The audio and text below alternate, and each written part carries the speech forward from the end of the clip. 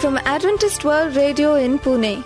A very warm welcome to you as you join us. This is our international English service. Today in our program, we bring music from heritage singers and Paul Hokip, A health message and backaches. followed by a story for children, and ending our program with God's word entitled Seven Words from the Cross. I'm Sharad, I'm Sophia. and you are listening to Adventist World Radio, the voice of hope.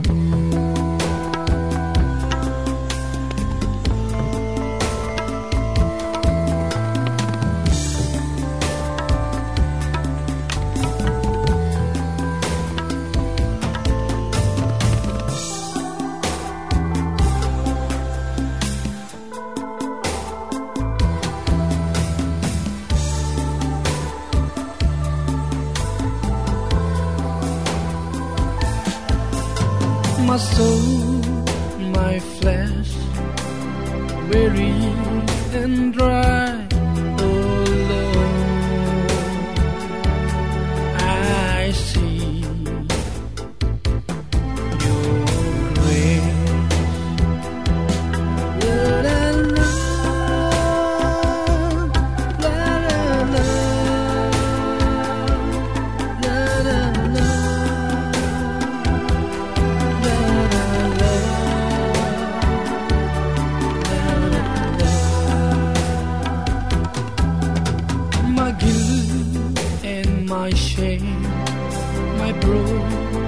spirit, oh Lord,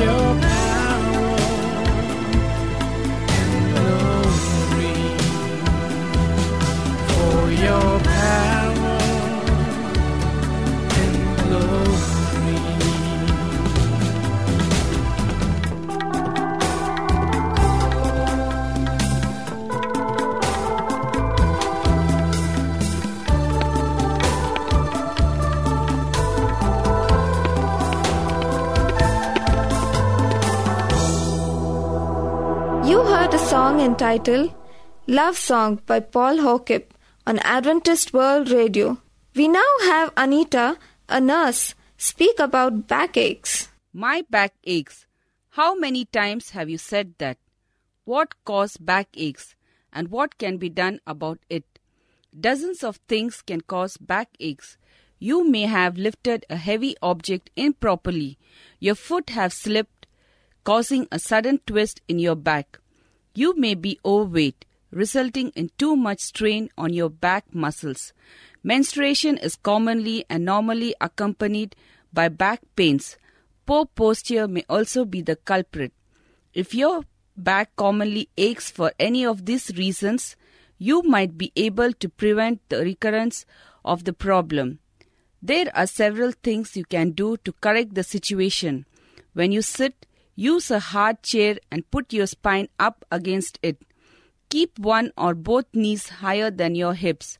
A small stool will help you do that.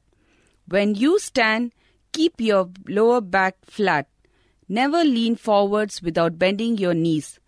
High heels are more likely to cause back aches than low heels. When you sleep, use a firm mattress. You may need to put a piece of plywood under your mattress if it's too soft. Don't sleep on your stomach. If you sleep on your back, a pillow under your knees may help. If you sleep on your side, keep your legs bent at the knees and at the hips. When you drive, sit close enough to the wheels so that your legs are not fully extended when you work the pedals. When you lift objects, bend your knees and use your leg muscles to lift. Avoid sudden movements. Try not to lift heavy object high over your head. When you work, change your position frequently. If you work at a desk all day, get up and move around whenever you can. When you exercise, start slowly and loosen up before attempting strenuous activity. These simple steps will save you from many of the nagging aches you feel in your back. Sometimes the explanation for backaches is more serious. Common cause of serious problems includes cancer of the vertebra, meningitis, osteoarthritis of the spine, osteoporosis, pelvic disease, tuberculosis of the spine, and a slip disc. If your back problems are severe and prolonged, you should have a doctor find the problem and suggest the treatment. Thank you, Anita, for being on our program. To know more about our program, we request you to write to us. Here's our mailing address Adventist World Radio, Post Box number 17, Pune 411001, Maharashtra, India. Children, here's a story for you entitled Only a Dog, told by our friend Diamond. Hello. Today our story is about a very loyal and devoted dog. Shep, to most people, was only a dog, a furry, good natured collie. But to Mr. McMahon, a lonely laborer, he was a pal, a friend, yes, a part of his life. When home from work, this man and his dog spent many happy hours together.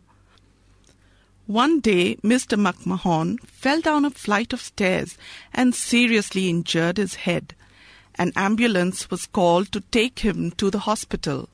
Shep squeezed into the ambulance and cuddled up as close as possible to his master, whining and licking the man's face as if he knew something was wrong and he wanted to encourage his friend.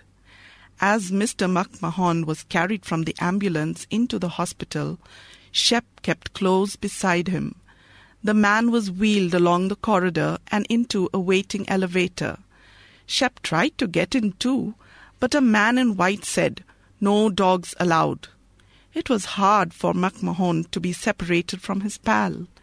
He saw the look in Shep's eyes, and leaning forward, he stroked the dog's head and whispered to him, It's all right, Shep, old pal. I'll be back soon.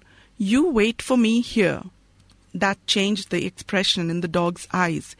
He had heard the, that command before when his master had gone into some building or some home where dogs could not go.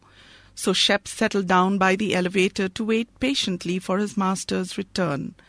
I wish I could tell you that MacMahon did come back and that he and Shep lived together happily ever after, but he didn't come back.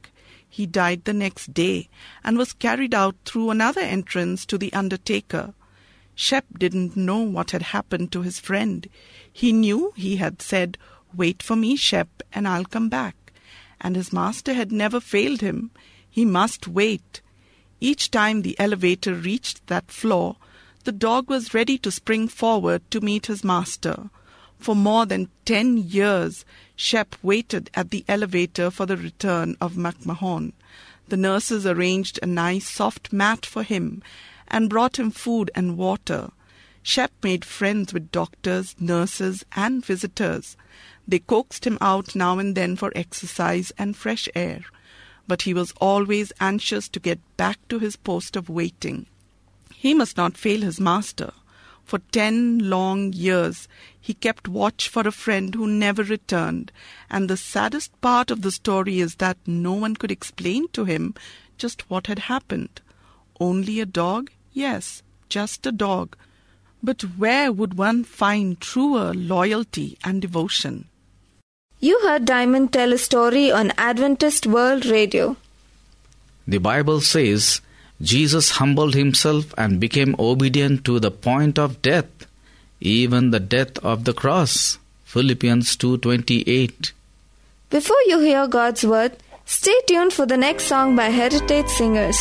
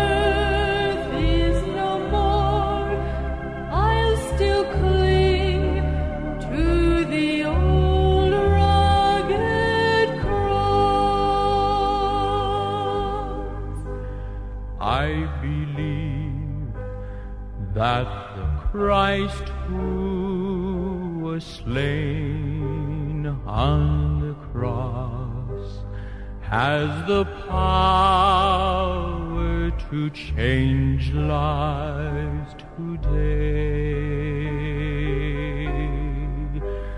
For he changed me completely.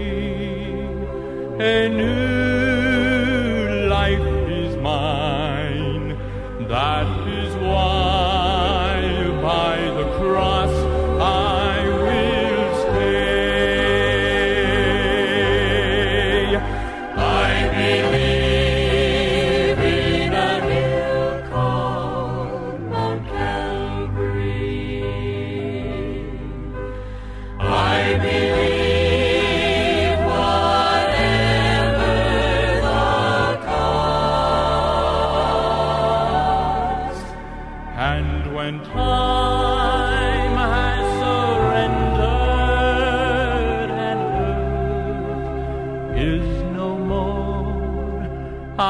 still cling to the old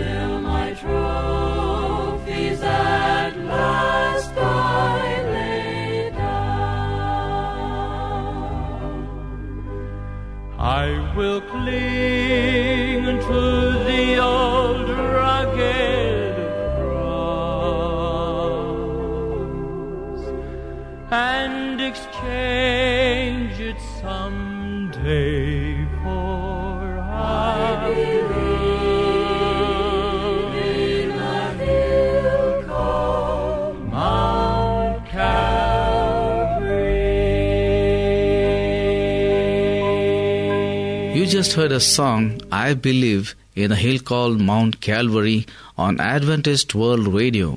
For our thought today, we have a message on seven words from the cross presented by Frederick Paul. A man's last words are always remembered by those who love him. On three of the four gospel writers, Matthew, Luke, and John, record seven sentences that our Lord Jesus Christ spoke upon the cross just before he died. These seven sayings from the cross show what filled our Saviour's heart when he was dying and made his love overflow in words. There was no preacher like Jesus, no pulpit like the cross, no congregation like that which was and is gathered around it. Number one, Father, forgive them, for they know not what they do. Luke twenty-three thirty-four. Christ prayed for his enemies in their ignorance and guilt. It was their privilege to know and accept Jesus as their Savior, but they had not done it. Their ignorance did not remove their guilt. Some would even yet repent and look back with remorse to this scene. Yet through them God's purpose was reaching its fulfillment. In this prayer, Father, forgive them. We see love and only love, and it is love for the unlovely. Christ is revealed as the intercessor who is heard of God. No curses on his tormentors, no vengeance invoked on those who drove the nails, but pity and a plea for their forgiveness, for they know not what they do. Number two, Verily I say unto thee, Today thou shalt be with me in paradise. Luke twenty-three forty-three. This promise was in answer to a prayer, a brief eleventh hour prayer it was too. How terribly short was the time that the poor condemned thief had to devote to the business of eternity, but he made use of it. His prayer was an act of worship Lord, remember me. It was an act of supplication Lord, remember me. And what does such a prayer not cover?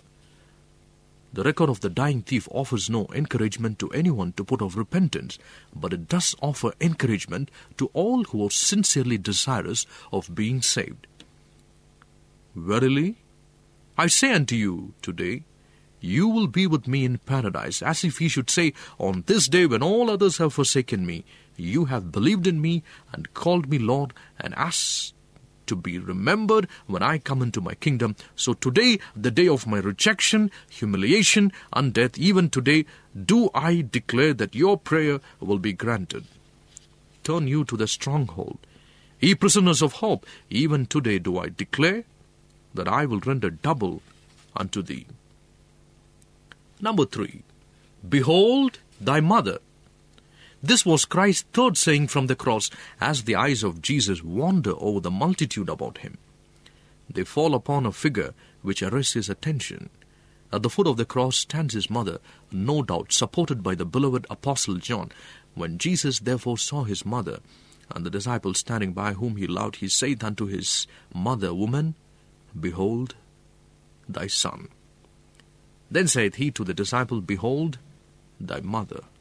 And from that hour that disciple took her unto his own home. In this third saying from the cross, Jesus provided a home for his mother.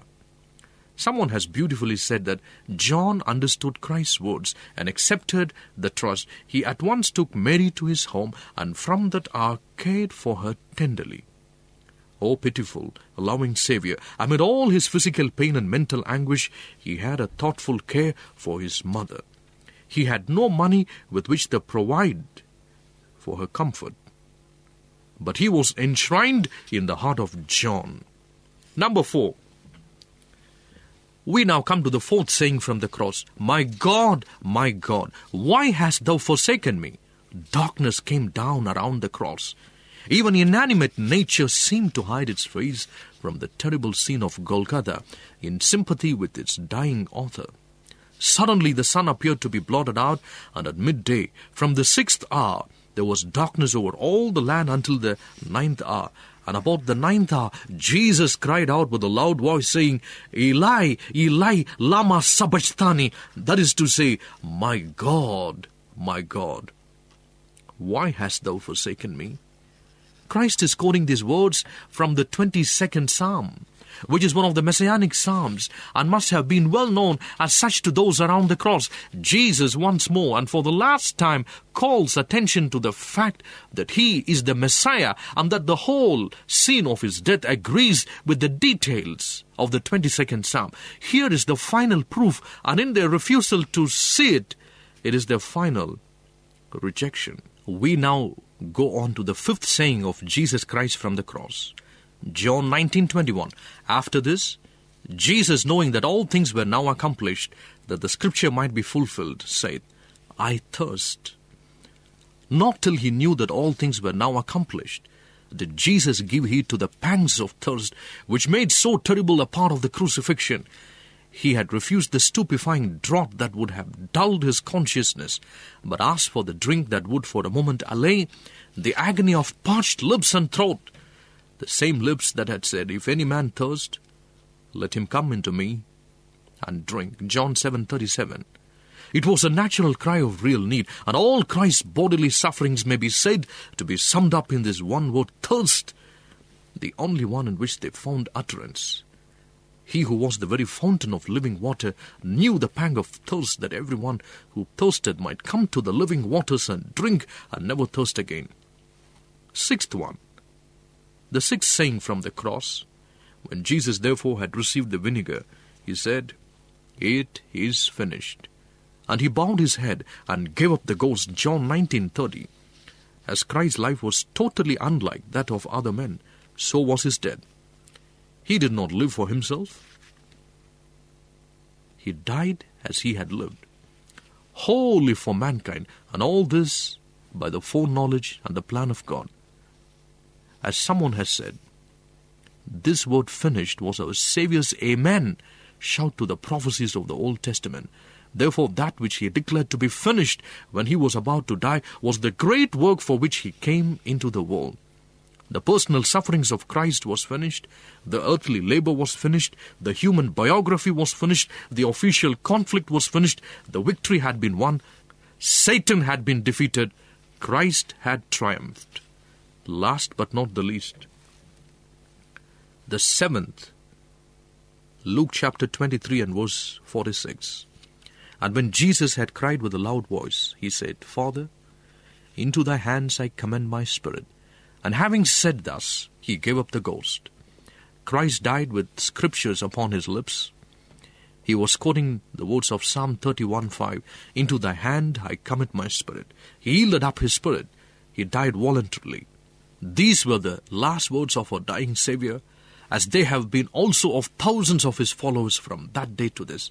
Blessed are they, wrote a great reformer, who die not only for the Lord as martyrs, not only in the Lord as believers, but likewise with the Lord as breathing forth their lives in these words Into thy hands I commend my spirit. Let us therefore proclaim the story of the cross of Christ to all the wide, wide world, that all who will may know its sevenfold blessing to earth's remotest bound. Thank you, Frederick Paul, for sharing God's Word on Adventist World Radio. We trust you found our program interesting and helpful. You are listening to the Voice of Hope from Pune, India. When Jesus Christ came to the earth, something better was revealed. He himself became our high priest by sacrificing his life and shedding his blood to atone for our sins. Now, when we accept his gift of forgiveness, we can rejoice that the penalty of our sins has been paid and our guilt removed. Salvation through Jesus is the only way we can be forgiven and have fellowship with God.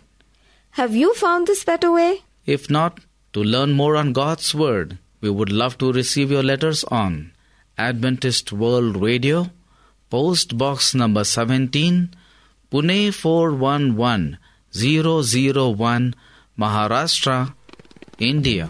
That is Adventist World Radio, Post Box number 17, Pune 411001, Maharashtra, India. You could also email us on amc3 at vsnl.com. That's amc3 at vsnl.com. I'm Sophia. I'm Sharat signing out from Adventist World Radio. Join us again on our program. Until then, may you enjoy good health and God's nature. Goodbye and God bless you.